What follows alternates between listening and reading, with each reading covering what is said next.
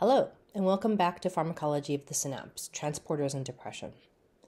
In this video, I will talk about the shortcomings of current drugs used to treat depression, the challenges to new drug development, and some agents in the development pipeline, including ketamine, an exciting potential treatment for depression.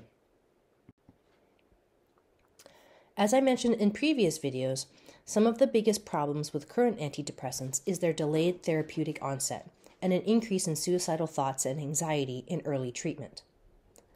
Another issue is variable efficacy in different people.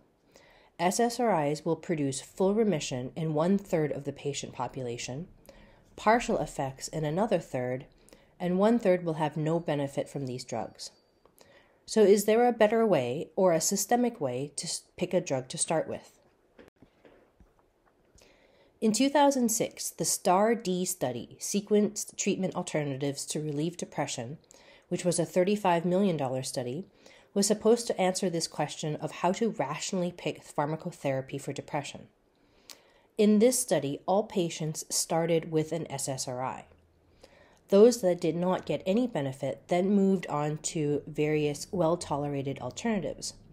And as the patients did not respond, they moved to other drugs that had more side effects.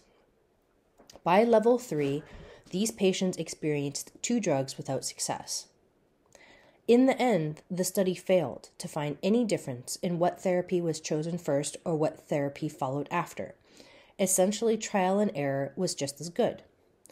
This isn't very satisfactory to patients and their physicians trying to get therapeutic benefit from depression.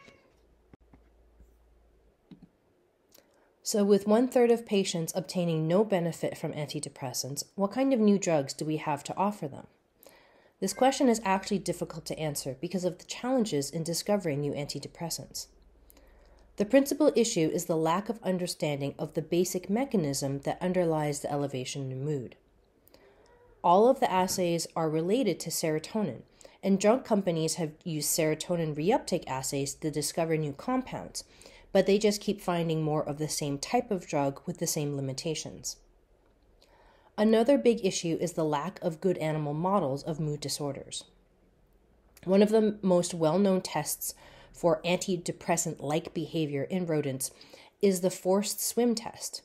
In this test, mice or rats are placed in a cylinder of water for about five minutes. The animals initially swim around a lot, but after a while they stop swimming and just float all FDA approved antidepressants cause the animals to swim around for longer. But you can see how difficult it is to relate what is happening in the forced swim test to human depression. In addition, the drugs produce immediate effects in this test after a single administration, which is also very different from their real world therapeutic benefit. Some researchers think that the forced swim test measures a stress coping strategy rather than depression like behavior. Other animal models of depression include the tail suspension test, the sucrose preference test, and the chronic unpredictable stress model is maybe a more valid model of depression, and it is a newer model that has been studied. There are also challenges in clinical trials of depression drugs. In this graph that you see a meta-analysis of multiple studies showing increasing drug effects on the y-axis but it also shows increasing placebo effects on the x axis. The placebo effect can be quite large. Just being under a physician's care and in the trial itself can improve mood for many subjects. Other problematic issues in clinical trials include eligibility issues, so children and adolescents are often excluded, as well as exclusion of patients that have comorbid depression with other mental illness conditions or physical conditions, and we know that depression is frequently comorbid. One of the most exciting developments in depression research is ketamine. Ketamine is already an FDA approved anesthetic, and it acts as a non competitive NMDA receptor antagonist. This is the glutamate system. The first clinical trial for ketamine was in 2000, and the researchers were very surprised that this drug was fast acting. After 30 minutes to two hours, patients reported an elevation in mood that persisted after the drug was cleared. This fast action suggested that ketamine may be acting more directly on the neural mechanisms that mediate an elevated mood compared with previous drugs. One of the most exciting developments from the ketamine trials is the proposed new mechanisms of, mechanisms of action for depression and mood, including a role for the glutamatergic synaptic system, a role for neurotrophins, which include BDNF, and a role for increased synaptic plasticity on neurons. So, neurotrophin and synaptic plasticity involve molecules that are important for the survival, development, and function of neurons.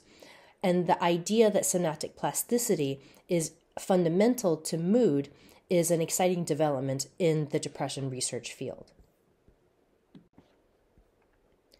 Other areas of research for the new classes of antidepressant drugs include multimodal serotonergic agents that have enhanced serotonin subtype selectivity, triple uptake inhibitors that have actions at serotonin, norepinephrine, and dopamine, neurokinin based therapies such as substance P and other peptide modulators, neurogenesis based treatments such as use of different neurotrophic factors, and glutamate based treatments that follow the example of ketamine.